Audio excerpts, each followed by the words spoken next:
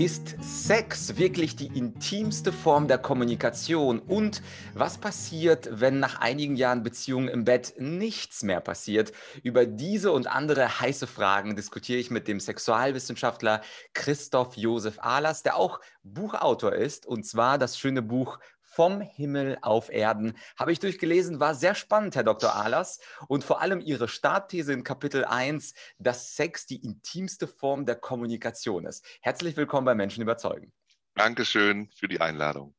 Und vielleicht könnten Sie da gleich mal reingehen. Also die meisten Menschen assoziieren Sex ja eher mit Vergnügen oder vielleicht Kinderkriegen, aber die Kommunikation vom Sex, das ist doch relativ neu. Richtig, das ist ja auch der Grund, warum ich das Buch geschrieben habe. Sonst hätte der Verlag gesagt, das ist uralt, das nehmen wir nicht.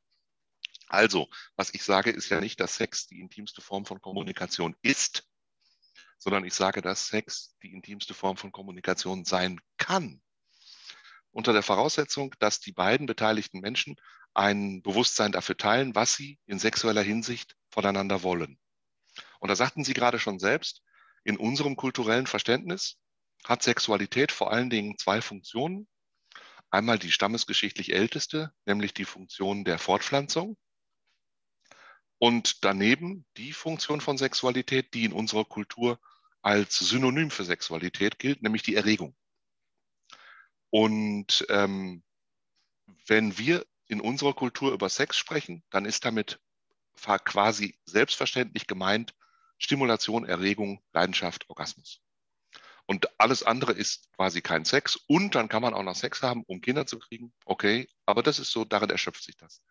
Tatsächlich ist es aber so, dass zwischen diesen beiden Funktionen von Sexualität eine dritte Funktion liegt, für die wir kein kulturelles Bewusstsein haben. Und diese dritte Funktion ist Kommunikation.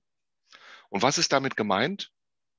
Damit ist gemeint, dass wir durch sexuellen Körperkontakt Grundbedürfnisse erfüllen können. Grundbedürfnisse haben alle höheren Lebewesen, wir Menschen also auch. Und da unterscheiden wir zum einen die biophysiologischen Grundbedürfnisse. Das ist Nahrung, Flüssigkeit, Witterungsschutz, Schlaf. Ne, das sind alles Bedürfnisse, die heißen deswegen Grundbedürfnisse, weil wir ihre Erfüllung nicht zur Disposition stellen können. Das bedeutet, wir können uns nicht entscheiden, nicht zu trinken, dann sterben wir. Wir können uns nicht entscheiden, nicht zu schlafen, dann sterben wir. Und auf der anderen Seite haben wir psychosoziale Grundbedürfnisse. Und diese psychosozialen Grundbedürfnisse sind äh, die Bedürfnisse nach bestimmten Gefühlszuständen.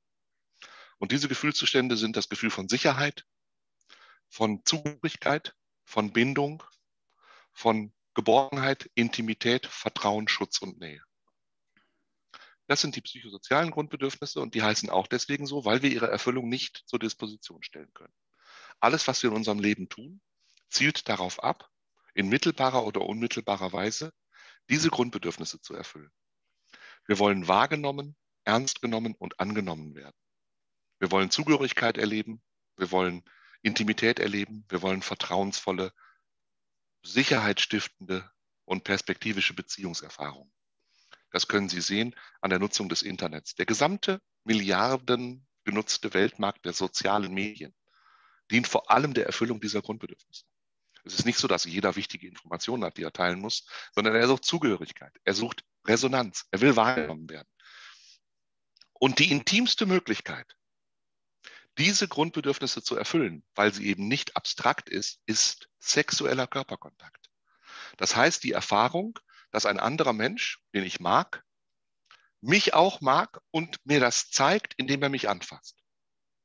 Und wenn ich ihn auch anfasse und wenn wir uns küssen und wenn wir uns drücken und wenn wir uns streicheln und wenn wir miteinander schlafen, dann können wir uns diese Grundbedürfnisse auf unmittelbare Weise erfüllen. Und zwar nicht abstrakt über Sprache, wo wir sagen, ich finde dich schön, äh, herzlich willkommen zu meiner Einladung, ich schenke dir eine Blume, das sind alles Abstraktionen. Die körpersprachliche Ausdrucksform ist die unmittelbare. Da gibt es keine äh, Übersetzungsfehler, wenn beide beteiligten Menschen ein Bewusstsein für diese Funktion haben. Und wenn wir uns jetzt den Bereich des äh, Casual Dating anschauen, also Sexual Dating über entsprechende Apps, wo Menschen sich zu verbindungslosen, beziehungslosen Gelegenheits-Sexualkontakten verabreden Tinder. können, Tinder zum Beispiel, ja, dann finden wir ja in den Analysen für den motivationalen Hintergrund der Teilnehmer genau diese Grundbedürfnisse wieder. Sonst würde man gar nicht verstehen, warum Menschen auf einer Casual Dating Plattform Liebe suchen. Warum sie Beziehung suchen, Partnerschaft suchen und warum vor allen Dingen in der geschlechtstypischen Verschiedenheit mehr überwiegend die Frauen sagen, warum nutzen sie Tinder? Marktwert. Mir geht es gar nicht darum, möglichst viele Real Dates zu haben, sondern mir geht es darum zu gucken, wie viele Matches kriege ich. Ein bisschen anders als die Männer, die überwiegend sagen, ja, ist schon geil zu sehen, dass da was geht, aber ich, mir geht es auch darum, dass was läuft. So, ja. Sie sehen also, der Marktwert ist ein Derivat unseres Bedürfnisses nach wahrgenommen werden, ernst genommen, angenommen werden, gewollt sein, gemocht sein, gut gefunden werden, attraktiv, sexy, begehrenswert. Alles Aufladung unseres Selbstwertgefühls durch die Erfüllung psychosozialer Grundbedürfnisse. Und wenn Sie sich jetzt vorstellen, zwei Menschen treffen sich und die haben das verstanden, was uns keiner beibringt, wird in keinem Aufklärungsunterricht vermittelt, wird in keinem Sexratgeber vermittelt. Deswegen weiß es keiner. Aber nehmen wir mal an, und das erfahre ich ja täglich mit meinen Paaren, die ich behandle, dass zwei Leute sich zusammentun, die das verstanden haben und die da was anfangen können. Dann erleben die, indem sie miteinander Sex haben, einen intensiven Austausch kommunikativer Art. Und plötzlich bedeutet das, was da geschieht, viel mehr als das Plattitüde Austauschen von Körperflüssigkeiten. Das bedeutet nämlich das Austauschen von Botschaften, die mir und meiner Seele gut tun und die ich unmittelbar erleben kann, dadurch, dass ich angefasst werde und dadurch, dass ich anfasse und dadurch kann ich beileibe begreifen, dass ich okay bin, weil mich der andere annimmt und zwar echt körperlich und der möchte, dass ich in ihm bin und ich möchte in ihm sein. Und das ist die intensivste und intimste Ausdrucksform von Zuspruch, von dem Gefühl, ich bin in Ordnung. Und das ist das, wonach wir eigentlich alle suchen. Das ist der einzige Grund, warum wir noch Paare bilden. Eben nicht die Fortpflanzung, kann jeder alleine. Eben nicht die Erregung, kann jeder alleine. Können viele alleine besser oder mit Fremden als mit einem echten Partner. Der einzige Grund, warum wir immer noch Paare bilden, die meisten Menschen Paare aus Männern und Frauen, obwohl Männer und Frauen nicht gut zusammenpassen, wissen wir auch seit 100 Jahren. Trotzdem bilden immer wieder Leute Paare und immer noch, weil die Partnerschaften, in denen ja übrigens die meisten sexuellen Kontakte stattfinden, nicht bei den Singles, sondern innerhalb von Partnerschaften, weil das die optimale Möglichkeit ist, mir das Gefühl zu geben, nicht allein zu sein, jemanden zu haben, der zu mir steht, der zu mir gehört, mit dem ich mich austauschen kann und mit dem dieses Gefühl zu erneuern, dass ich gemocht werde und dass ich in Ordnung bin. Und deswegen wollen wir auch in partnerschaftlichen Beziehungen immer wieder miteinander schlafen. Eben nicht für die Erregung, die können wir alleine, die kann man outsourcen, ist nicht das Thema und auch nicht für die Fortpflanzung. Dafür, darum darum geht es bei den meisten Menschen nur in der Phase der Familiengründung. Vorher und nachher ist Fortpflanzung ein Managementproblem, aber nicht der Endzweck sexueller Begegnung. Der Endzweck oder das Eigentliche ist, dass wir das Gefühl bekommen können, in Ordnung zu sein, weil wir angenommen werden, und zwar in echt, körperlich.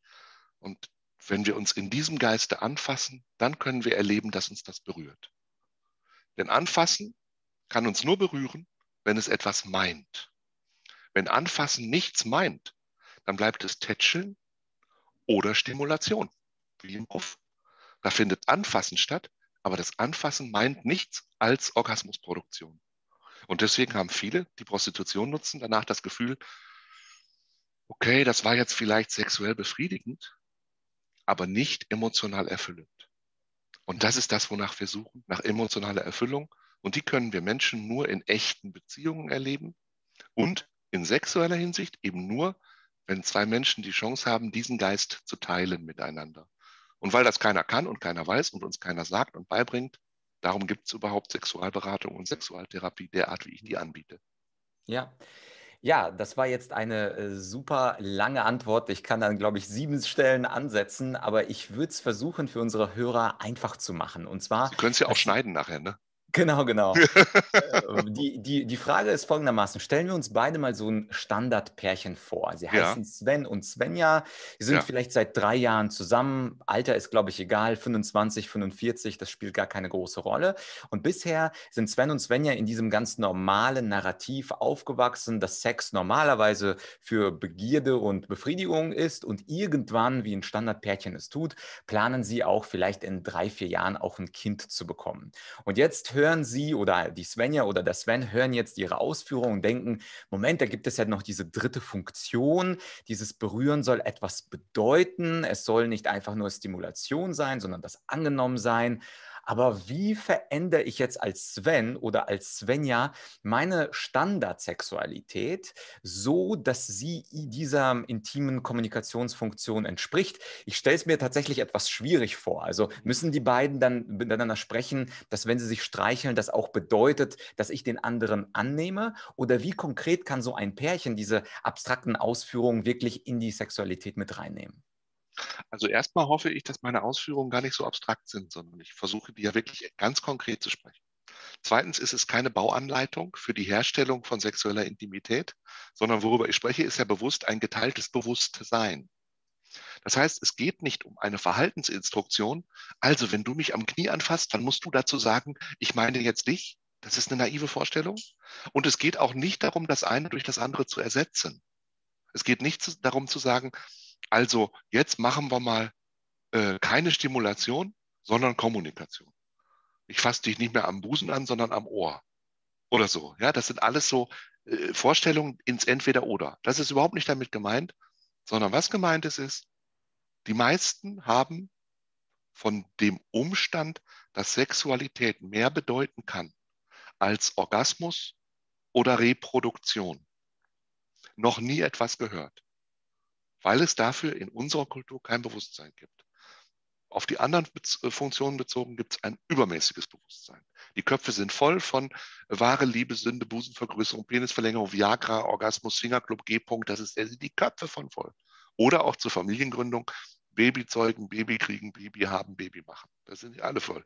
Aber das ist die große Leerstelle, das ist die Lücke. Das bedeutet, in dem Moment, wo überhaupt äh, zwei Menschen sich dafür interessieren, das ist ja schon mal die Voraussetzung. Ne? Wenn es denen darum geht, ähm, mehr zu machen äh, miteinander als das, was sie bisher gemacht haben. Bei den meisten entsteht dieses Interesse erst dann, wenn was nicht mehr klappt. Und das passiert ja vielen Paaren. Ne? Nach einer gewissen Zeit ist die Luft raus. Und dann kommen Plattitüden wie keine Lust auf Sex, äh, Libido, Begehren, Verlangen, der ganze Quatsch. Braucht alles kein Mensch. So, und dadurch entsteht aber ein Mangelgefühl das, das Neugierde stiftet oder Interesse. Und wenn die dann hören, ja, macht euch keine Sorgen, was ihr da erlebt, ist total normal, so geht es allen. Und das ist aber nicht das Ende äh, der Fahnenstange, sondern wir können einen Umgang damit finden. Und den kann man finden, indem wir uns zusammensetzen und überlegen, was wollt ihr denn eigentlich voneinander? Wenn ihr sagt, ihr seid ein Paar, Svenja und Sven, und ihr sagt, ihr möchtet eigentlich eure sexuelle Beziehung wieder haben. Warum? Warum, frage ich dann. Was wollt ihr? Ja, wir wollen ja auch Sex haben. Aha, was ist Sex für euch? Ja, richtig, miteinander schlafen und so. Und warum wollt ihr das? Und dann kommt, ja, weil geil. Dann sage ich, okay, geil, war ja geil. ist ja okay, aber geil könnt ihr ja auch alleine, ne? Wofür braucht ihr dann den anderen? Nein, mit dem anderen ist ja schon geiler. Dann sage ich, okay, äh, dann kann man aber ja auch sich jemanden schießen oder tindern. Ne? Wisch und weg, zack, hat man jemanden, mit dem ist meist noch geiler, weil man den nicht kennt. Warum dann mit dem eigenen Partner? Ja, ist doch normal. Da sage ich, das finde ich super. Wenn was normal ist, ich weiß nicht, was das ist, aber ich, alles in Ordnung. Was ist denn für dich normal? Worum geht es dir? Und dann merken Sie, kommen Sie auf den Punkt, dass es um irgendwas geht, was über Orgasmus und Reproduktion hinausgeht. Und das ist genau der Ansatzpunkt. Und, ich, und dem machen wir weiter. Und dann geht es darum, auf, in diesem Geiste oder mit diesem Verständnis neu aufeinander zuzugehen, neu miteinander umzugehen um dadurch auch wieder neu aufeinander gierig werden zu können. Neugierig. Und das kann nur geschehen, wenn der Sex etwas anderes meint als vorher. Und deswegen sehr konkret, nicht abstrakt. Abgesehen davon, das Praktischste, was es gibt, ist eine gute Theorie. Und deswegen erkläre ich das so, wie es ist. Und das ist kein Baukasten zum Nachturnen zu Hause, sondern worüber ich spreche, ist Psychotherapie. Psychotherapie ist kein, äh, keine Toolbox mit Instrumenten, mit denen ich mir was basteln kann, sondern es geht im Wesentlichen darum zu verstehen, wie ticke ich, wer bin ich, was will ich, worum geht es mir, was kriege ich davon hin und was nicht und wie kann ich ab jetzt mit mir umgehen und dann auch mit dir. Das ist das, worüber ich rede. Mhm. Ja, ja, ich frage, Sie verzeihen meine Frage, ich frage deswegen nach konkreten äh, ja, Tipps und Tricks, weil wir natürlich in so einer Kultur leben, genau, wo die Menschen genau. auf Tipps und Tricks warten. So ist es bei mir als Rhetoriktrainer kommen die Leute auch zu mir ja, und sagen, okay, ja, gibt es ja. irgendwie so einen großen roten Knopf, wo Richtig. ich da drauf drücke und plötzlich bin ich dann Obama. Das ist äh, Richtig, äh, genau so. Leben, und dann, dann, werden Sie ja in meinem Buch festgestellt haben, dass Sie auf äh, 365 Seiten frustriert werden, wenn Sie, wenn Sie das Bedürfnis haben, Schläge zu bekommen. Ich erteile beruflich keine Schläge. Bei mir gibt es weder Vorschläge, noch Ratschläge, noch Umschläge, noch Aufschläge, gibt es alles nicht. So, es gibt eine Einladung, sich über sich und übereinander und über Sexualität Gedanken zu machen und das anders zu betrachten als bisher, um dann die Erfahrung zu machen, wenn ich anders drauf gucke, mit einem neuen Bewusstsein für das, worum es mir eigentlich geht, dann löst sich Erstarrung, dann löst sich Verhärtung, dann löst sich Arretierung und dann kann sich wieder was bewegen. Hast du eigentlich schon daran gedacht, diesen Kanal zu abonnieren? Einen kleinen Kommentar zu hinterlassen oder einen Daumen hoch zu klicken, weil du das Video in Wirklichkeit sehr, sehr gut fandst. Naja, zumindest eine Person würde das sehr, sehr glücklich machen. Ich sag's ja nur.